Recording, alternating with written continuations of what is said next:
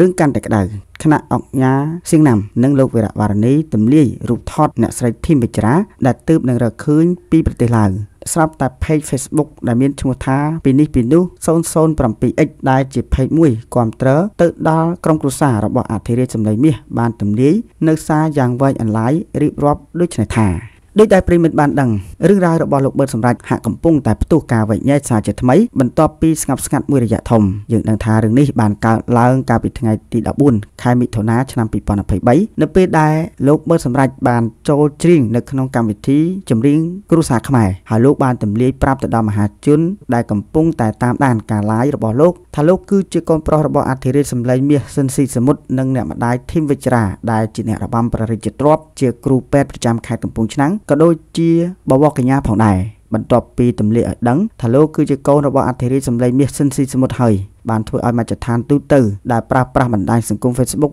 ផ្ទុះការវែកញែកជជែកពាក់ព័ន្ធទៅនឹងរឿងលោកដែលអ្នកខ្លះជឿអ្នកខ្លះមិនជឿដែលឡែកថ្មីថ្មីនេះគឺមានរឿងគួរឲ្យភ្ញាក់ផ្អើលមួយបន្ទាប់ពីអង្គញាសៀងណាំក៏ដូចជាលោកវរៈវរនីបានទម្លាយរូបថតរបស់អ្នកស្រីធីមវិជ្រាដែល ក្រុមការងារស្រាវជ្រាវរបស់លោកទើបនឹងរកបានពីក្រុមគ្រួសារអភិជនម្នាក់នៅប្រទេសឡាវដែលជាអតីតរដ្ឋលេខាធិការក្រសួងពាណិជ្ជកម្មដំណឹងនេះបានធ្វើឲ្យមហាជនជាច្រើនដែលស្រឡាញ់ចូលចិត្តទៅដល់លោកមើលសម្ដេចសម្ដែងនៃការសាទរនិងពេញចិត្តយ៉ាងខ្លាំងរីឯមកមើលអ្នកដែលមិនគ្រប់គ្រងនិងមិនជឿថាលោកបិទសម្ដេចជាកូនរបស់អធិរាជសម្លេងមាសសិនស៊ីសមុទ្រនោះ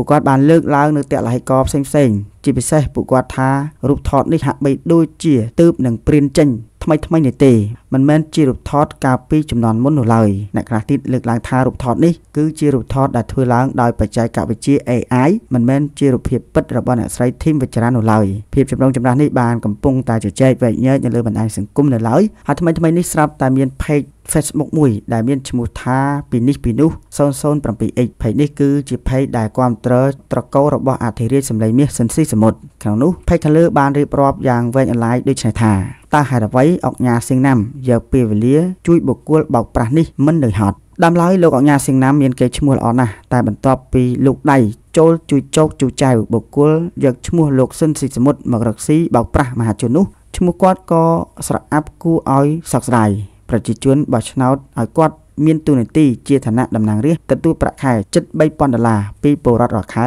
គួរតែគាត់យកពេលវេលាទៅបម្រើរាស្ត្រដែលកំពុងតែជួបការលំបាកចោះសួរនាំពលរដ្ឋដែលកំពុងលក់កសិផលមិនចេញលក់ត្រីបានថោកពលរដ្ឋគ្មានការងារធ្វើចំណាក់ស្រុកទៅធ្វើពលករស្រុកគេបែកឃ្លាតបងប្អូនកូនប្រពន្ធអ្នកជំងឺខ្វះខាត ដេកពេទ្យគ្មានលុយព្យាបាលតែបែរជាលោកអង្គញាតំណាងរាស្ត្រមិនអើពើ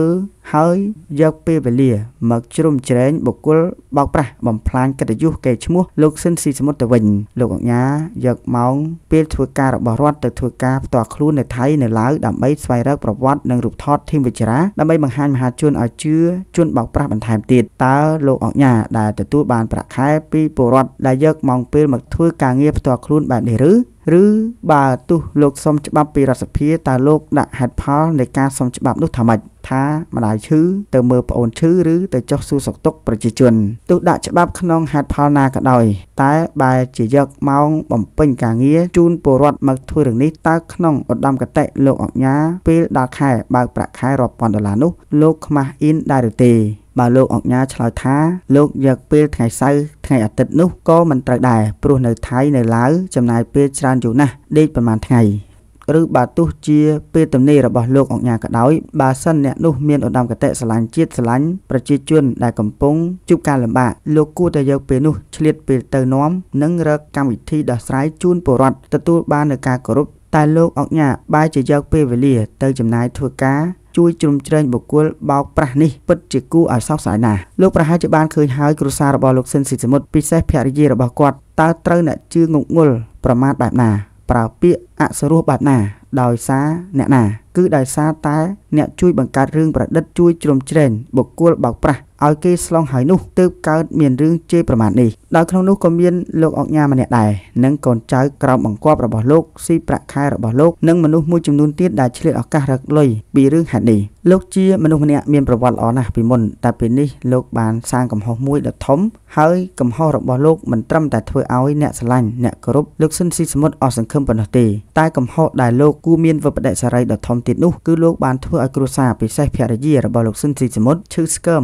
ដោយសារការប្រមាថការជេរសពបែបយ៉ាងពីក្រុម អ្នកជឿងប់ងល់លើបុគ្គលបោកប្រាស់ដែលលោកអុកញ៉ាកំពុងជួយចោកជួយចៅចំណេះច្រើនហើយធ្លាប់ជួយមនុស្សជាច្រើនតែលោកធ្វើរឿងនេះបានបំផ្លាញកិត្តិយសខ្លួនឯងដោយមិនដឹងខ្លួនបើលោកពិតជាអាណិតកូនលោកស៊ិនស៊ីសមុទ្រមែនលោកគួរជួយដល់កូនពិតប្រកបភរិយាពិតប្រកបរបស់គាត់ដែលកំពុងជួបការលំបាកទើបជាការត្រឹមត្រូវហើយទទួល នៅការគោរពពីមហាជនចុះហេតុអ្វីបានជាអង្គការមិនជួយមនុស្សពិតបែរទៅជាជួយបុគ្គលខ្លាំងខ្លាយទៅវិញខ្ញុំដឹងថាបើទោះបីជាអង្គការបានអានបានដឹងពីប្រតិកម្មពីមហាជនក៏លោកមិនកែប្រែអ្វីដែលកំពុងធ្វើនេះដែរតែសង្ឃឹមថាលោកអង្គការនឹងពិចារណាការលើកឡើងនេះខ្លះទោះលោកមិនពិចារណាឃើញគ្រប់ចំណុចតែលោកអង្គការចងចាំនិងដឹងក្នុងចិត្តនៅចំណុចមួយថាគ្រួសារនិងភរិយាលោកស៊ិនស៊ីសមុទ្រគេឈឺចាប់ណាស់ព្រោះតែលោកអង្គញាជួយបុគ្គលបោកប្រាស់ ប្រវត្តិរញ៉េរញ៉ៃហើយមកបំភ្លេចថាជាកូនសិនស៊ីសមុទ្របំផ្លាញកិត្តិយសឪពុកគេ